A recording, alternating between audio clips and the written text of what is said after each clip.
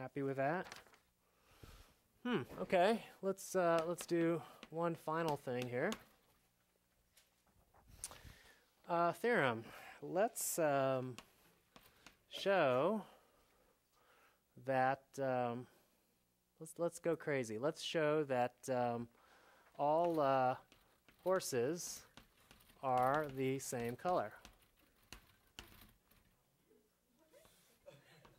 All horses, they're they're all the same color. And like any amazing fact, we can prove it by induction.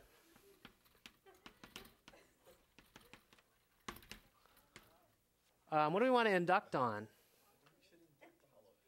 Number of legs? No, um, that's a different statement. Okay, induct on wavelength. Yes, very funny. Induct. Let's induct on the number of horses in the set. In a given set. Oh, I love this proof. This is great. Okay, we're going to do the base case since you guys are so concerned about the base case. For the base case, uh, with uh, one horse, a set of with one horse. Isn't it true that in a set of one horse, all horses are the same color? Yes. Set of one horse, um, the statement holds. Ah, yes, all horses are indeed the same color in a set of one horse. Love it. Okay, so now for the inductive, inductive step, let's suppose uh, you know, let, us let S uh, be a bunch of horses. I might as well call H1 through Hn plus 1. Okay. H1 through Hn plus 1 and now I want to find the inductive hypothesis in here, which concerns a set with how many horses? n things. I have n plus 1 things. Oh, well, check this out. Then S prime, which is H1 through Hn, and S double prime, which is H2 through Hn plus 1, wouldn't you agree that they have one fewer horse. Therefore, the inductive um, hypothesis holds, and all these horses have the same color. Uh, have uh, n horses, and by the inductive hypothesis, all have the same color. Each in, in each in each of them, the sets the horses have the same color. Um, have the same color in each set. Oh, great. But uh, clearly H2 is in both sets. And so all these have the same color as H2, and all these have the same color as H2. So all have the same color as, in particular, H2. Done, as desired. All horses have the same color. Great. We will see you next time. no, don't end here. What's the problem? Is there a problem here? Because clearly horses don't all have the same color, right? Yes.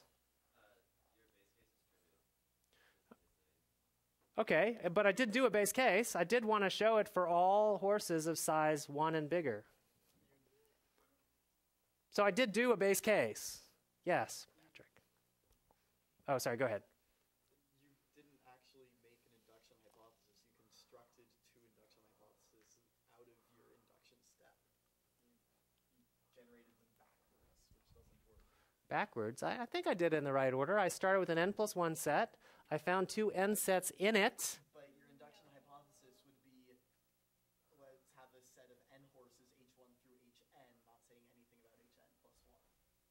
Right, but this one has hn plus 1 in it, and so both, all these have the same. Hmm, interesting. Yes, tell me what you think. Oh, where did I make that assumption? The, the, the, the comment was I'm assuming I had at least three horses.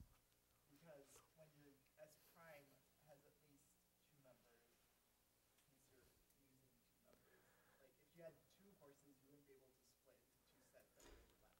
Ah, interesting. Okay, so the comment was, I, without realizing it, I have used, I've assumed that I have at least three horses because when I go down to these two sets, I assumed they overlapped in H2. But there is a case where that's not, they don't overlap at all, right? That's the case when you have how many horses? Two horses, and these end up being disjoint sets. So the problem here is, uh, in fact, that the inductive step fails uh, in a very bizarre way. So here, um, no. The inductive step fails. And in particular, it fails when n equals 2. Okay? Okay, so there's some things to be very careful of, um, which uh, you should you know, be aware of as you're doing proofs by induction. And there are a few assignments, uh, homework problems now, that you'll see where you'll, you'll find induction a helpful technique. If you're interested in a nice challenge, I encourage you to do this. I didn't have time to do it in class today. I encourage you, now that you know how to do proofs by induction, to prove the other implication that the well ordering property follows, sorry, that the principle induction follows, sorry, the well ordering property follows from the principle of induction. Okay? So see if you can think of a way to prove the well ordering property from induction. All right, we'll see you next time.